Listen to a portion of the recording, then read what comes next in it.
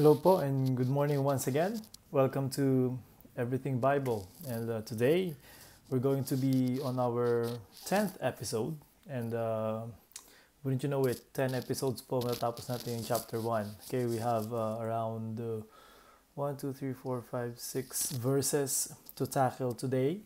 So we might as well uh, start immediately. But um, if you if this uh, first chapter has been a blessing to you, uh, has helped you through trials or has helped you through any temptation that um, you are experiencing, I hope that you share this because uh, we don't know. It might help someone else. Hindi po natin alam kung ano pinagdadaanan ng mga kaibigan natin dito sa Facebook or mga kapamilya natin. You know, most of the time when a person goes through trials and temptations, um, may mga tao na sinasari lang nila. And, uh, and what, as we have learned um, in the past few days, it is the Word of God that will help them. Okay, and that's what we're doing here. Uh, we're studying the Word of God. We're looking at the Word of God. We're, we're asking the Holy Spirit to help us po na maintindihan kung ano yung mga sinasabi dito ni Pastor James and I'm paano niyang ini-encourage itong mga uh, believers na ito na magpatuloy at paano nila malalagpas sa itong kanilang uh, mga nararanasan and uh, compare sa mga nararanasan natin ngayon I don't think na makukumpara mo yan kasi sa atin yung kahirapan ngayon is uh, hindi ka nakakapag-McDo, hindi ka nakakapag-Jollibee. But, you know, these people, it, they fear for their lives. Um, and um, they, they're not living a good life at all. But James is encouraging them. And we uh, studied uh, yesterday. I know, sabi ko kahapon, ang uh, title ng ating um, last episode today of chapter 1 will be Quit Fooling Yourself, which is a very appropriate title ano po dito sa ating um, uh, verse verses na ito. But I, I decided to ano na lang uh, The Man in the Mirror. Okay? Uh, hindi po to tribute kay Michael Jackson but uh, because uh, this is us. When we look at the Word of God, we're looking, the Word of God reveals us to us. Ano po? Uh, uh, oftentimes, tayo mismo hindi natin alam kung ano yung mga magiging reaction natin pagdating ng trials, pagdating ng temptation. Kala natin minsan, malakas ako, matatag ako, malakas ang pananampalataya ko. Pero sometimes God allows trials to make you realize na you're not really that strong. And you have to rely on me. O baka naman, sa tingin natin, mahina tayo, hindi natin kakayanin. But, when, but God sometimes allows trials and temptations to show you that, no, you're, you're stronger than you think. Why? Because of the power that is in you. And uh, uh, I think we're gonna be uh, long today. Anyway, Friday naman uh, Monday na susunod natin. So pagbigyan nyo na po ako bago nyo po patayan yung premiere. Uh, makinig po, po tayo. I'm sure that this will be a blessing. I was chatting with someone yesterday, uh, Brother Reggie. Uh, he, he's watching our episodes. And uh, sabi, sabi ko nga sana maging blessing sa ito. Sabi niya, of course, the Word of God is always a blessing. And uh, we praise God that that uh, by His grace, He decides to give us the privilege to be used to help people understand His Word. And that just amazes me every day. Someone like me na, na bibigyan ng Panginoon ng opportunity to use His Word and, and help people understand that and help them sa kanilang buhay. So we'll start here. Episode 10, The Man in the Mirror, or Quit Fooling Yourself. Uh, it's up to you. James 1.22, it says, But be doers of the word, and not hearers only, deceiving your own selves. And this is a very uh, packed verse. It's very strong, actually. Um, napaka-derecha ni James. Parang sinasabi niya, um, be someone who, who does not only pinapakinggan pero gawin nyo. That's kasi kung hindi, niloloko mo lang ang sarili mo. Ibig sabihin, uh, you, you remember those times na na kinakounsel ka ng maybe ng family mo ng, ng, ng parents mo or ng pastor mo. And uh, every time na lang na magpapa-counsel ka kay pastor, parehas na lang. O ulit-ulit na lang yung pinag-uusapan niyo, ulit-ulit na lang yung problema mo. Uh, you're, you're, you're fooling yourself. Why? Because every time your pastor or, or, or someone uses the word of God to instruct you kung anong gagawin mo, you take that and but then you don't do it. You know, dito sa mundo, bilang, Kristiyano, the devil deceives us a lot. And it's a sad thing when a believer falls for the deception of the devil. But what's even uh, sadder is when we fall for our own deception. Uh, nalolokohin natin sarili natin, tapos paniniwalaan natin yung panloloko natin sa sarili natin. And um, uh, James not only tells us to do what we hear, but sabi niya dito, be doers. It means yung, yung pagiging, uh, yung, yung pag-apply ng salita ng Panginoon, dapat yun yung, yun yung life natin, yun yung buhay natin. Hindi lang yung simple na, hindi lang yung basta narinig, ginawa, narinig ginagawa kasi uh, sumusunod ka lang. Pero dapat yung, yung uh, definition natin bilang Kristiyano ay yung tao na talagang doer. Yung tao na every time that I hear, it's clear from the Word of God na maliwanag na ito ang kalooban ng Panginoon, I will do it. Yan ang uh, yan ang gusto yan ang gustong parating ni Pastor James sa mga sa mga uh, magbabasa nito sa mga sinulatan niya. Sabi niya, okay, God gives you wisdom, God tells you what to do in the midst of these things. Now, now when you when when you listen to him and you're you're not arguing, you're, you're sitting down, you're waiting for his instruction and then binigay niya sa do it. Right? Do it. Um, kasi minsan sa atin, mga Kristiyano, para, para sa atin, yung kabuuan ng pagiging Kristiyano is just uh, to know what we're supposed to know. Di ba? Yan yung delikado sa mga uh, uh, mapag-aral. Okay? Hindi ko, hindi ko dinidiscourage yung mga pag-aral. And I myself, by the grace of God, I like, uh, to, I love to study the Bible. But, kung yung knowledge in and of itself is uh, uh, uh, the, uh, the ends, or yun, yun na yun. Kung para sa'yo, uh, nag-aaral ka lang para marami kang kaalaman, then sabi ng Bible, uh, that puffeth up. Diba? Lalo ka lang, uh, magkakaroon lang ng pride. And then eventually that will lead to your fall. It will lead to something uh, disastrous in your life. Kaya nga, it's not all about knowing what we have to know. But we have to do what we know. I-balance natin yan. Kasi meron akong mga kaibigan na sa, so, sobrang against naman sila sa pag-aaral at pag-memorize ng verses kasi uh, hindi naman daw ginagawa. And logic, logical lang naman, common sense. Paano mo gagawin kung di mo alam? Okay? So talaga magsisimula yan sa kaalaman, knowledge. Okay? Alamin mo, pag-premise of point. But, we also have uh, uh, to do good. Kasi when knowledge, yung kung, kung filled ka with knowledge and wala siyang application, it becomes just dead. And James talks about uh, that here, dito sa uh, book of James, uh, uh, faith without works, you know, it's dead. It's nothing. So knowledge without application, it's nothing uh, knowledge itself, it has some good in it, but it does no good kung hindi natin na-apply. I-apply, okay? Uh, na 5 minutes tayo doon. So, verse 23 and 24 sabi, so gawin natin, not only hearers, but doers. Sabi sa 423, bakit? For if any be a hearer of the word and not a doer, he is like unto a man beholding his natural face in a glass. For he beholdeth himself and goeth his way, and straightway forgetteth what manner of man he was. Di ba? Pagka, nung sabi ni James na uh, wag ka lang kayo basta nakik, na, nakikinig or hinihintay yung pakinggan yung sasabihin ng Panginoon, gawin nyo rin. Bakit? Pag hindi mo ginagawa, para kang yung tao na tumingin sa salamin, nakita mo na may muta ka o na may, uh, may naglalambitin dyan sa ilong mo o ngumiti ka, nakita mo na may chocolate pa, tapos narealize mo na ang pangit tignan, pero di mo tinanggal. Uh, uh, umalis ka, nakipag-meet ka pa rin sa mga, uh, uh, kami, pumasok ka pa rin sa trabaho, pumasok ka pa rin sa school, nakita mo na nga ng gulo-gulo ng itsura mo, pa- parang ganun. Parang, wala, parang bang sayang lang yung pananalamin mo.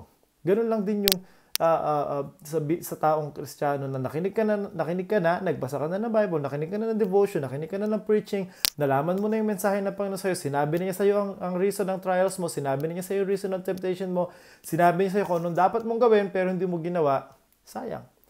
Di ba? Uh, di ba sabi ko last week and even this week, don't waste your trials. Why? Kasi sayang kung hindi na tayo mag-grow. Sayang kung hindi din natin gagawin. Sayang kung hindi din natin uh, uh, matututunan. So that is the that is uh, what's wonderful in the Word of God. When we look into the Word of God, when we read the Word of God, we see who we really are. You know, kaya nga, sa, kaya nga the, the man in the mirror, when we read the Bible and we really try to meditate upon it, papakita ng Panginoon kung sino talaga tayo. Papakita niya sa atin yung kahinaan natin na marahil hindi natin na-realize. Or pakitahan niya din tayo na maybe strengths natin na hindi natin alam. Or pinapakita niya sa atin kung gaano talaga tayo kakulang sa sarili sa sarili natin. But if again, if we do nothing about it, wala rin. Hindi naman tayo kokontrol na pang na parang robot na, oh, sinabi ko sa iyo yan, tapos ako na magkocontrol sa iyo para gawin yan. No. It is it should be us who will apply that. And I like what he says here in verse number 25. But whoso looketh into the perfect law of liberty and continueth therein, he being not a forgetful hearer, but a doer of the work, this man shall be blessed in his deed. So, tignan muna natin yung last part na yun. This man shall be blessed in his deed. So, we see here the blessing is in the doing and not just in the knowing, not just in the yes, I heard, but it is in the doing. Diba? It is in the doing. Yung, yung, yung ginawa mo na, yung in-apply mo na, yung, yung, yung uh, uh, ginawa mo na sa buhay mo, nandun yung pagpapala ng Panginoon. Wala dun sa pakikinig. That means, uh, nakikinig ka sa akin ngayon, uh, pwedeng ma-bless ka because of the things that you hear uh, from the Word of God. But if you don't do it, there's really no blessing uh, in that. And sinayang mo lang. Diba? Sana tinulog mo pa. Or sana nanood ka na lang o nakinig ka ng radyo or whatever. Kung wala rin pala tayong intention to obey. Uh, remember uh, our uh, previous, uh, I think two episodes ago, when we talked about when, when the Lord, when the Bible says hear, it doesn't simply mean to listen. When the when the the Bible says hear, it usually means you you you listen to follow, you listen to obey. So um, uh, that is that is what happens. So the the blessing there is in the doing. And I like uh, how how James phrases it. It's basically sinasabi niya dito sa verse 25 when you listen to the word of God and you let it be planted in your hearts, it is God who will work in you the things that you have to work out to show to other people. So uh, uh, ultimately, it's still the work of God. So that means when we hear the word of God, we allow it to work in our hearts, then that word of God becomes the work of God. Okay, so when we hear the word of God, and we apply it, the Word of God becomes the work of God. And that is very powerful. Kasi uh, hindi again, hindi lang ito basta sa uh, alam natin. And and I want us to look at this phrase also. He being not a forgetful hearer. So para si James uh, kinukumpara niya yung paggawa sa ating uh, retention, sa ating uh, uh, sa pagtat na matatandaan natin. Okay. Look at this kung nakinig ka ngayon at hindi mo in-apply, para mamaya nakalimutan mo na yung sinabi ko. Nakalimutan mo na yung pinag-aralan natin sa Bible. But, kung makinig ka ngayon, and then immediately apply it in your life, you'll never forget it. And when and pag dumating yung time na nagkaroon na naman ng trials, na kailangan mo na naman yung mga prinsipyo na tutulan mo, madali mong maalala. Bakit? Kasi ginawa mo, ginagawa mo sa buhay mo. Hindi mo na ito makakalimutan. Um, um, me and my wife, isa sa aming um, tawag dito, uh, guilty pleasure is when, whenever there's a slow day or uh, hindi kami makatulog, we binge watch uh, Netflix. And when uh, yung mga pinapanood namin sa Netflix, hindi mga hindi mga drama-drama or what, pero we like watching crime series. No? So nanood kami ng NCIS, uh, ngayon pinapanood namin yung iZombie. Uh, kala nyo corny pero maganda, try nyo. Uh, we watched Criminal Minds, natapos namin yan yung Monk, uh, we watch it a bit, hindi siya sa Netflix, uh, sa iba. And also Homeland, we watch all these things. And and one thing, when there, whenever there's a crime, and meron silang suspect na ini-invite to ask them to investigate. Now, mahuhulit mahuhuli nila yung suspect when they ask the details of the crime over and over again. Bakit? Yung tao nagsisinungaling, pag tinanong mo ng these questions over and over again, mag eventually sasagot yan ng iba. Eventually, sasagot niya, ma- mahuhuli mo siya kung anong pinagsisinungaling niya. Why? Kasi hindi naman niya talaga ginawa yung sinasabi niya. Hindi naman niya talaga ina-experience yung sinasabi niya. And those things, madali niya makalimutan. When you lie, madali mo makalimutan yung kasinungalingan mo. Next time, you, you get asked the same thing, you, you say something different. Yan, maala, ma, yan ang ma, ma, mapapansin mo sa mga taong lagi nagsis, na, sa mga taong nagsisinungaling. They say something now, hindi na na-realize when they say it again, iba na yung detalye. O may dinagdag na sila, meron silang binawas. Why? Because they're lying. Uh, simply put. But, kung talagang na-experience mo, o talagang ginawa mo, kahit na ilang beses pa pagbali-balik ta rin, tanong-tanongin ka, you will have the same answer. Why? Because you did it. Same thing with the Word of God. Um, when you just hear, when you just listen, and then you never practice it, pamaya-maya lang nakalimutan mo na. Kung tatanungin ko sa'yo, anong preaching nung Sunday sa church nyo, natandaan mo pa? Ayan, kung natandaan mo pa, praise the Lord. But, uh, kung nakalimutan mo na, I guarantee it's because you did not apply it. It's because you did not meditate upon it. It's because you did not live, uh, uh, live it. Diba? Kaya nga kung gusto po natin na, na anytime na magkakaroon tayo ng temptation or trials, maalala natin mga prinsipyo na ito, apply it in your life and that will be uh, that will solve the problem maalala at maalala natin let's uh, be quicker we have two more verses and I want I really want to be in chapter 2 on uh, Monday. Sabi dito sa verse 26 if any man among you seem to be religious and uh, uh, bridleth not his tongue but deceiveth his own heart this man's religion is in vain. Hindi tayo masyado mag-focus dun sa tongue. Why?